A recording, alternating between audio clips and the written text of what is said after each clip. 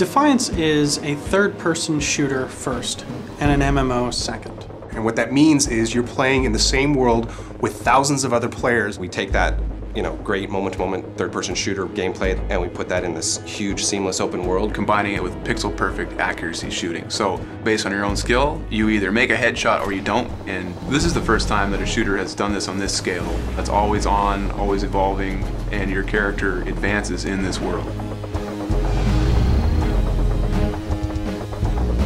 Defiance differs from traditional shooters because the game goes on whether you are present or not. Whenever you're ready to play and jump on, you're actually jumping into the world and seeing what's going on right at that moment. As you're running around in the world, new things are actually happening all the time.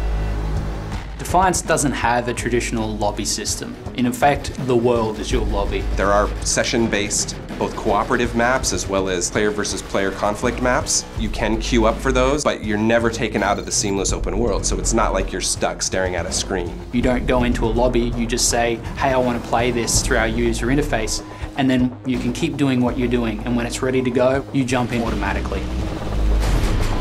Because the world is so massive, we want to give players a really fun way to get from place to place. And we do that through our vehicles. At any time, you can press a button on the controller and your vehicle will appear in front of you. You can hop on it and take off across the Bay Area. And it's fully physics-based, so just traveling across our world is a blast. But in addition to that, we also have different vehicles that you get to have in sort of group activities, where the person on the back has their own personal machine gun and someone has a missile launcher, to our sort of transport vehicles, which you use for some resource gathering.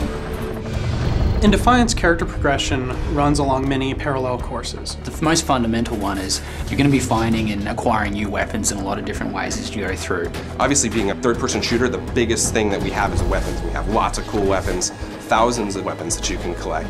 You're going to get more and more dangerous weapons, including ones of alien design, like an incubator or the biomedical gun. Even once you get a weapon that you think is great, you can actually customize that as you see fit. You will actually see a visual difference between improved weapons in the game and unmodified weapons inside the game.